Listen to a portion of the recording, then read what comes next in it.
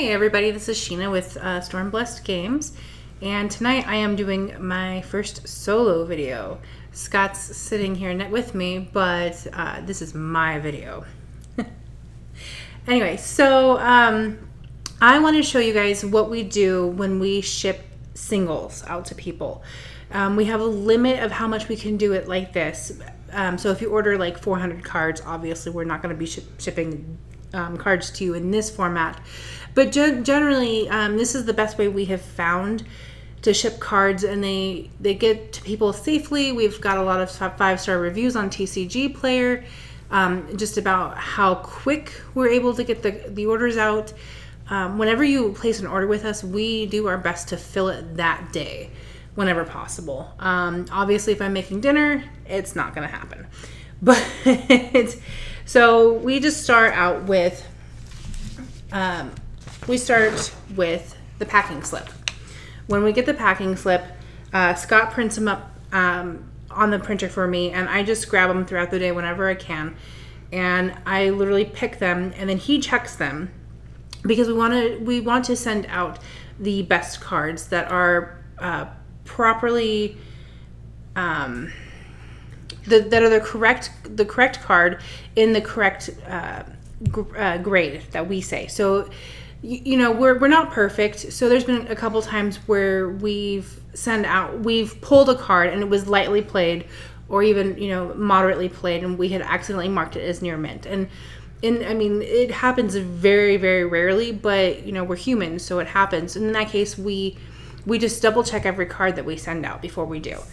Um, and whenever we do find that we always make it right with the with the customers. But so we start out with the packing slip, and then I write a personal handwritten message. Obviously, we've blackened out the names of the customers and the order number because, you know, um, Joe Schmo here probably doesn't want his address posted online. so um, I just I like to use purple or pink ink. So if you've received an order from us, uh, majority of our orders are done in in these colors. So um, your order.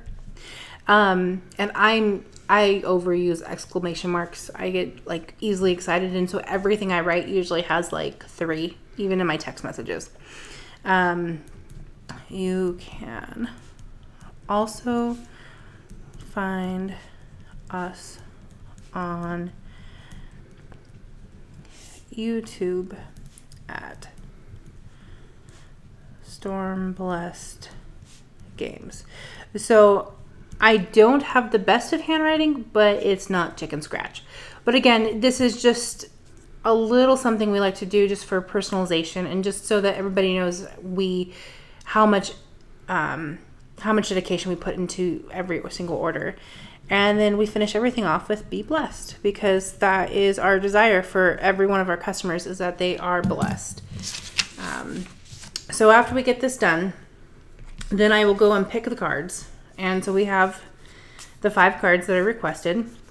And then I'll set them aside for Scott, and he goes through and he checks them. And like I said, he makes sure that the that they're actually the right cards, that the numbers actually correspond to the numbers on on the sheet that the name is right and he he checks over um, the mint and he's already done this so I don't need to sit here with you and and go over each one. So and then we put them into penny sleeves because we want the cards to be protected um, we can usually get up upwards of about four cards into a penny sleeve easily um, without you know cramming them in occasionally we'll put five into a single penny sleeve, but um, it's it's rare. We we we much prefer you know the the lesser amount, and then also we, we what we have done, been doing recently um, is we've been using this this thing and it's called a, a shipping shield and this is like one of our most favorite shipping tools by far. I mean, it's super duper simple. It's really, really simplified, but using this has reduced the sheer amount of tape that we've had to do. The cost is so much cheaper than using um, those other, what, what are the sleeves called? The Top loaders. the top loaders, using the top The loaders. Yeah. So we were using the semi rigid rigid top loaders, and then we were putting it on comic, um, co- the comic. Co- uh, comic boards. We were cutting. We were having to like cut the comic boards down, and then we were taping it, and and it was just it was a long drawn out process. And I mean this this has just reduced the sheer amount of time that we are doing the singles, and um, let's see. And then, yeah, so Scott usually does this part. Just, okay, there we go. And then what we do is we, I'm not to, I don't have any tape right now, but oh, he's a, Fitbit is telling me it's almost time for bed. so we just take a little bit of tape, and it doesn't really need to be much. And we just tape that. And I love this because there is no risk of ever getting tape on the cards. Um, before, one of the ways that we were combating that was to put, um, to tape the, the shields together or the, the comic uh, boards on either side of the top loader and then put a piece of, of paper and then tape the paper down. And it, like I said, it just used an awful amount of tape. And then we just use a plain white envelope, and Scott has informed me that it's a, also known as a PWE. Um, but I'm not cool like that. So then it's just a simple threefold. And then I like to just tape this down because when it's in the mail, we don't want it being jostled around because when it gets jostled, there's a, definitely a larger um, risk of it being damaged. Oh, oops.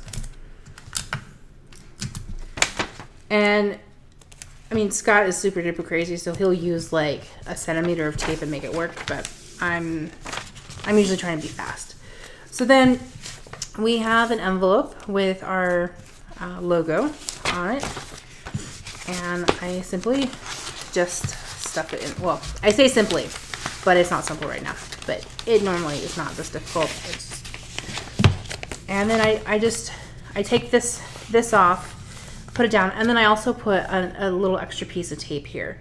Um, and that just helps to keep it down and keep it attached and just to give it a little bit more security that is actually going to maintain um, integrity when it's being shipped. Because you know and we try to keep things you know from uh, flexible so it can go through the machines whenever possible. And um, and we do have what are those big envelopes called Catalog envelopes. we so we can fit in one of these envelopes we can fit about 12 cards um, once we get above 12 and upwards of i think we talked about it being 36 um, we can go to the, the from 13 to 36 we can go to the catalog envelopes and they're just the big gigantic envelopes. And we again we just use the shipping seal, um, shield and we just divide it out and it's reduced the cost of shipping for us so we've been able to pass that on to you guys because when we first started we were using bubble mailers for everything. Even when somebody was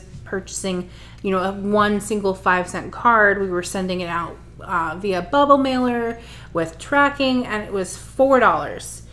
And it just you know i mean who wants to pay four dollars for a five cent card so we've Scott has figured out figured this out, and we've played around with it for a while.